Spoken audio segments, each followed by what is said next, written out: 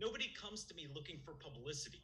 They come to me looking to to translate, you know, that level of credibility into real tangible business goals like increasing their sales, boosting their recruiting efforts, which is a big deal right now for a lot of businesses um, to help them with whatever m&a strategies they're pursuing at the time.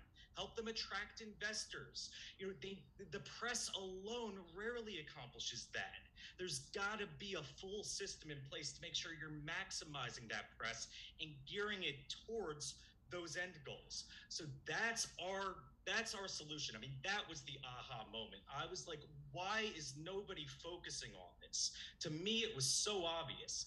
Now this goes back to the beginning of my career because i did start off in, in, a sales background. So you know I, I naturally when i look at press i'm like this is awesome. We need to leverage this. A lot of people don't think that way.